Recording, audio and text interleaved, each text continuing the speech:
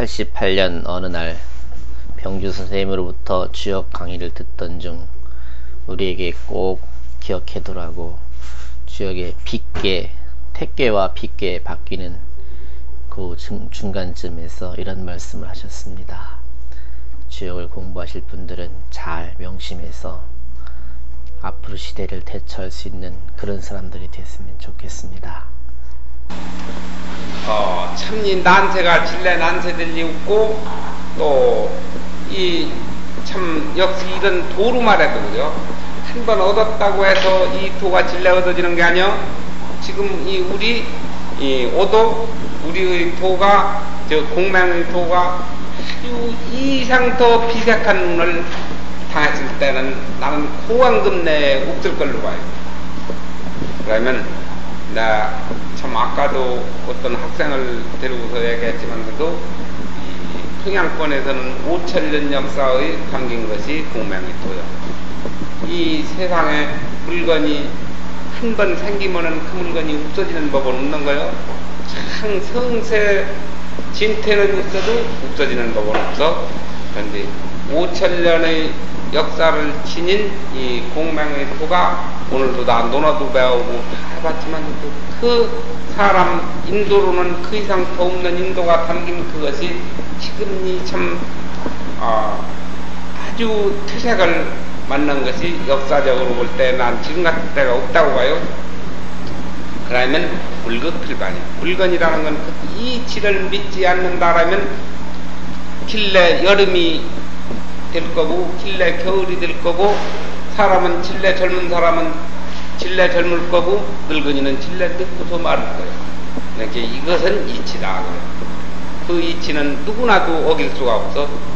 그러면 어, 이것이 칠래 이럴 리가 없다.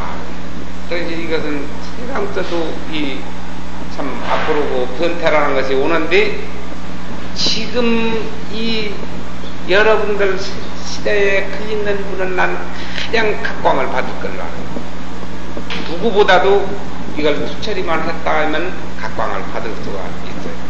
지금 참 여, 영어 하면 영문학자도 있는가 하면 과학 하면 과학학자도 있어. 이 국문 하면 국문학자가 이만저만이야. 한문학자는 없어요. 왜? 이것이 공명의 도가 태색을 받았기 때문에 너도 나도 궁이 이 한문을 해들 안 하려고 했기 때문에 한문학자는 없어요.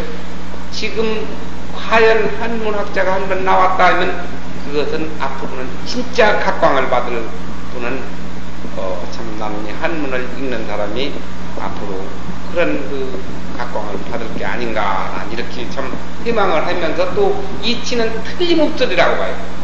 지금 진실하게 다 못 나가면 몰라도 이것을 진실한 경지에 다 심오하고 높은 경지에 나갔다 하면 앞으로 찰랑한 것만 두고 결국 모시러 와서 전디들 못할 판이 이것을 운영 발전할 사람이 없어요. 지금 구세대들 몇몇 분들 남았다야 그분도 급치에 다 올르도 못했고 또참 어, 그분이 늙어서 죽지 않나? 그러면 지금 이 앞으로 이것을 찾자면서 무엇서 지금 젊은 세대에서 누구 한 분한테 차려야 된다.